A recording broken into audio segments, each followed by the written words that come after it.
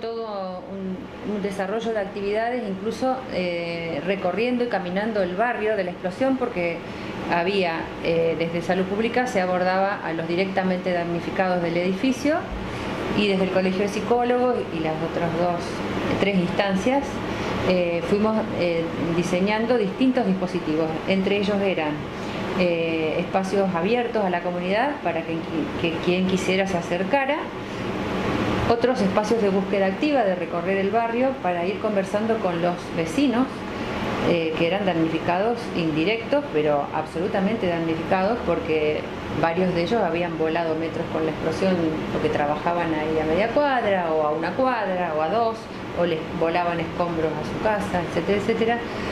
Y todo lo que había trastocado la vida del barrio eh, y aparte porque eran muchas personas conocidas, porque era una zona céntrica que este, estudiantes incluso, conocidos de la facultad, etc. Este, esa actividad continuó eh, durante algún tiempo no muy largo. las que sostuvieron el mayor tiempo hasta la actualidad fue la Escuela de Psicología Social, que eh, hizo el acompañamiento y hace el acompañamiento de los familiares hasta el día de hoy. Incluso en las instancias judiciales de acompañamiento y de contención, porque han sido muy movilizantes y, sabemos de la importancia que tiene la justicia en el tema, en la posibilidad de la elaboración de, los duelos ante una situación tan eh, desastrosa como fue esta, ¿no? tan siniestra.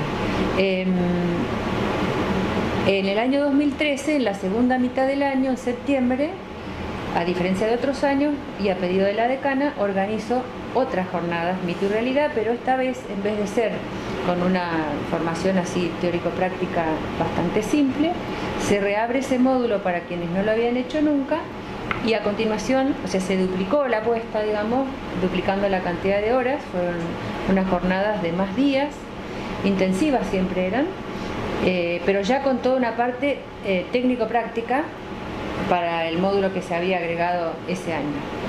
Y era destinado a los estudiantes que ya habían cursado ese primer módulo en otras ocasiones. Al año siguiente se aprueban, llegan los fondos del Ministerio de Educación al rectorado y se aprueba una propuesta que yo había hecho cuatro años atrás para el gremio docente de los docentes universitarios, un curso de capacitación de 48 horas. Me lo avisan a mí en octubre y aceptaba o lo perdía. Entonces tuve que disponer, así como de emergencia también, inmediatamente cómo organizarlo, cómo convocar. Y este curso funcionó. Eh, logré que me aceptaran la mitad del dictado ese fin de año, porque ¿quién se engancha a fin de año en una actividad? Sin embargo, hubo inscritos, era abierto a todos los docentes de la universidad.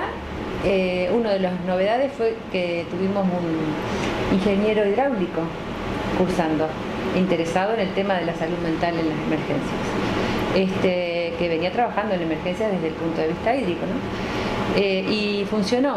Fines del 2014 y marzo-abril del 2015.